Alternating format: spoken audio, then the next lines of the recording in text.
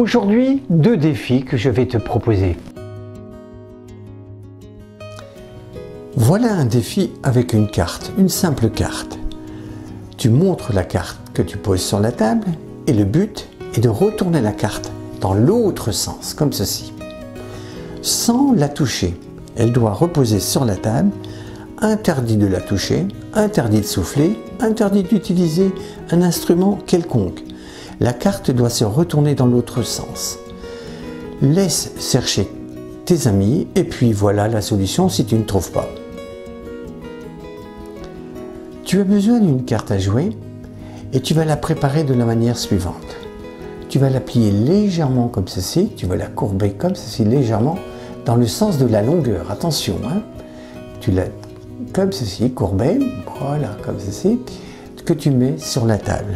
Et là, tu vas proposer le défi. Donc, retourner la carte sans souffler, sans la toucher, sans utiliser quoi que ce soit. Si personne ne trouve, regarde comment faire. Si personne n'a trouvé, voilà comment faire. Tu mets tes mains sur la table, les tranchants des mains bien sur la table, bien posés sur la table. Il te suffit de taper dans les mains comme si tu applaudissais. Regarde, tu tapes dans les mains et la carte se retourne. Voilà, Paris gagné.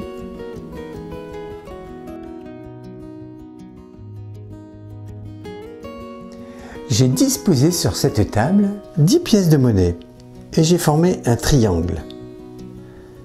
Maintenant, voici le défi. Comment placer le triangle dans l'autre sens en ne déplaçant que 3 pièces de monnaie C'est-à-dire que la pointe doit être de l'autre côté? Alors si personne n'a trouvé la solution, la voici, très simple. Tu prends les deux pièces du bas, tu les amènes sur l'avant-dernière rangée, là où il n'y a que deux pièces. Tu les amènes l'une et l'autre à côté de ces deux pièces. Voilà. Et il te suffit de prendre la pièce qui se trouve en haut, la pièce qui était toute seule, et tu la ramènes de l'autre côté vers le bas. Voilà. Tu as donc inversé la pyramide et tu as réussi ton pari en ne déplaçant que trois pièces de monnaie.